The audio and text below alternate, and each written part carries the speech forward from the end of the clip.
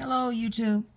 Um, I'm just on here today to share some wonderful videos I got from uh, Howard Hughes Medical Institute. And the videos were actually free. I found out about them on Facebook. And I thought they would be a wonderful addition to our homeschool, especially for my uh, older daughter, who will be in 10th grade.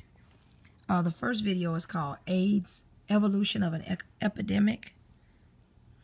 See that one. The next one is actually a PBS video that I got free from Nova, Vaccines Calling the Shots. The next one is Viral Outbreak, The Science of Emerging Disease. And these two also. Popped, The Mysterious Origin of Corn. I thought that might be kind of fun and interesting.